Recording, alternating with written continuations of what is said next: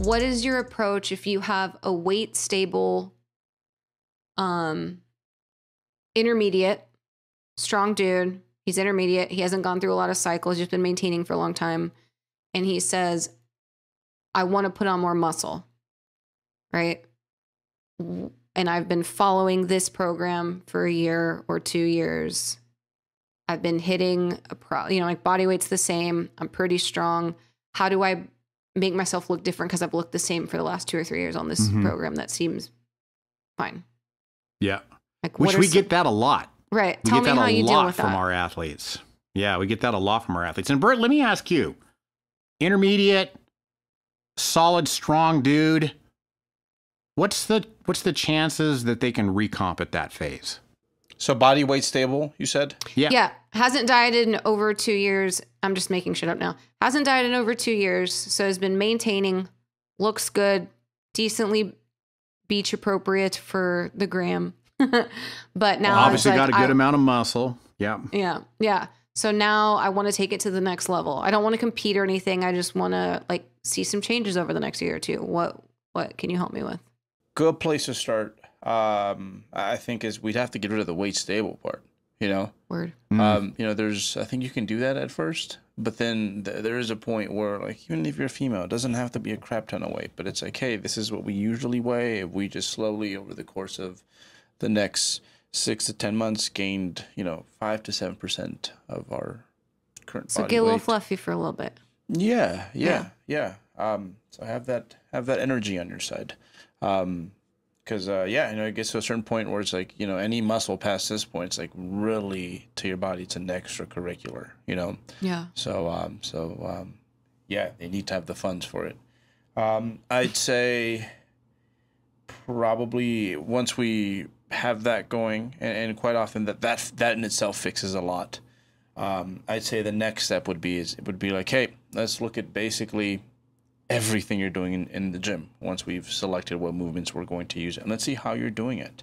Um, because quite often it's like you you'll see it's like oh okay that's why your calves look this way. It's because you know this is how you do them. Okay this is why your glutes haven't grown a whole lot past year one. It's because um, you know this is how you perform this movement or that movement. Hey your hinge sucks. Oh hey maybe that movement doesn't fit you. I think i have a better movement that's going to fit uh, the way you're put together just just a bit better. So um, so first things first it's like i think you just you need to have energy on your side.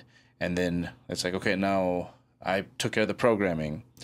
Let's let's just split the hairs in regards to like what's going on within the x's and o's because um, man you could have a really good program but if like there's something off when it comes to the way exercises are are executed um, that's really going to impact how much we do get out of that program Right. um, I'd say that shoot, you have someone with like just really good form in regards to uh, whatever the objective is that they're trying to get out of their strength training, where their form is like really good, but the program is meh. That person actually makes more progress than the person who has a fantastic program, but there's just there's enough things wrong with their lifting technique. Mm-hmm. Um, I think over longer periods of time, um, our form Nazi would probably make better progress.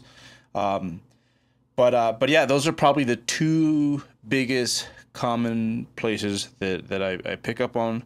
And obviously, just to throw that in there, um, uh, now more than ever, I think, especially since the whole, because a lot of the whole initial like uh, anxiety that came from meal timing, you know, part of it was like, uh, you know, you got to keep your metabolism going. There was that myth, but the other one was just like for the for the sake of protein. Um, and, and I think more than ever, you see strength athletes far beyond like whatever I, I, I never thought I'd see it get this bad. Um, you see a lot of athletes, and when it comes to their protein intake and maybe how they distribute it, it's just not nearly like the way as if it's, it's not the way they're not they're not maximizing their their body comp just just via that, you know. Okay. Um, so so yeah, that's that's usually my those are my go tos. Word. Yeah, and Berto pretty much took the words out of my mouth because I somebody that's an intermediate recomping is definitely possible, but when you're talking recomping, you're not talking like in terms of a couple months. You know, you're talking in terms of of like six or eight months. When we see these these tremendous before and after body recomposition recomposition changes, one of two things happened: either they dieted way way way down, And then now that they've come back up again, their body looks a whole lot different. That took the course of like an eight or you know ten month prep uh, in order for that to happen. Or the opposite happens. You know, good, strong, muscular person, and they end up putting on 20, 25, 30 pounds all of course all while training because training is the driving factor that builds muscle and then they diet back down again and now they look tr- dramatically different so that recomp can happen but we're not talking a short period of time this is stuff that's got to happen in phases and it's got to happen over the course of like eight or ten months Yeah. and so yeah for this for for uh, zach here I, I totally agree. He's got to get a little bit fluffy. And Carl. i think that is it carl? Oh shoot Question sorry six, carl my good. bad i'm looking at i'm, I'm you, one i'm too We're far sorry. ahead.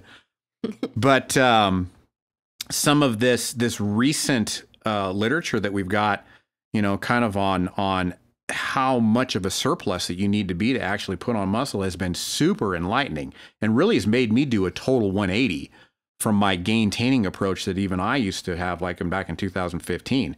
You know, when we're finding out that the people with the most amount of natural muscle on the planet are sumo wrestlers, that kind of tells me I'm going to have to get some some pretty good weight on me in order to get that muscle on me, especially if I'm an intermediate, right? So yeah, you got to get that going up, okay? And then all the while to put a little bit more of a of a um, example on Bert's um, talk about exercise form.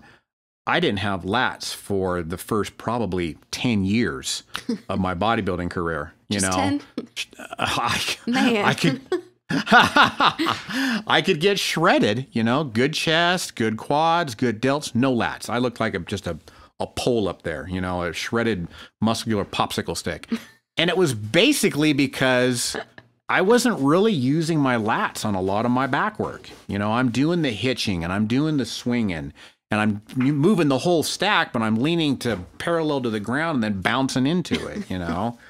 and so, you know, just I, I wish that something like the lifting library existed when I was in that 10 year hiatus of like no lat growth. You know what I mean?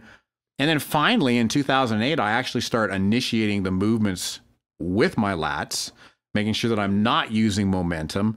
No longer am I using the whole stack. And then boom, 2011, 2014, finally I've got V taper. I've actually Yeah. got lats, you know, and so that's kind of an example of what Bert's talking about is sometimes, I mean, yeah, I was a solid intermediate, you know, thought I was doing everything right, but just that one hole in my game was really kind of making my physique not look as good as it probably could have Mhm. if I would have just attended that one little hole. Lifting Did I put a nice bow on it there? Yeah. Liftinglibrary.com. That's your bow. Um, okay. No, that was really that was really good. I know a lot of people have that that question because damn it, year-round beach lean is so good for the gram, Yeah. y'all. Yeah. So you know what? good. uh, And recomp hardly ever. I mean, uh, uh, here's the thing: when it comes to like recomp changing the way you look, nothing is going to impact that that the way um, gaining muscle will. Yeah. So if you Mm-hmm. maximize that, it's crazy how. Um, Because if you everything just keep looks so going, if he just kept going, five years later, he'd look a little better than he does now. Just muscle Yeah, maturity, yeah. weights would go up. Or, but if it's like if you actually, but if you invest a year, you might get five years of that other type of gains in like nine, ten months or something. Right. And it's it's funny because a lot of these folks that want to recomp so bad, it's like that's not the advice they'd give like their their their peeps who maybe are asking them for advice. Like for all I know, maybe Carl has a girlfriend that's like she won't get off the cardio machine. He's like, "Come on, baby, come lift a little weights. I guarantee you it's gonna work so much better." You know. So um, so yeah, yeah. Again, we get in our own way, and, and even us, like we we still do ourselves, and, and Yeah. that's why we we do rely on each other for for help when we we get these weird ideas that you know Yeah. sound brilliant on paper, but uh, Or in our heads, really just in our heads. Yeah.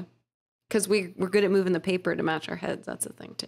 Oh yeah, yeah exactly. Very true.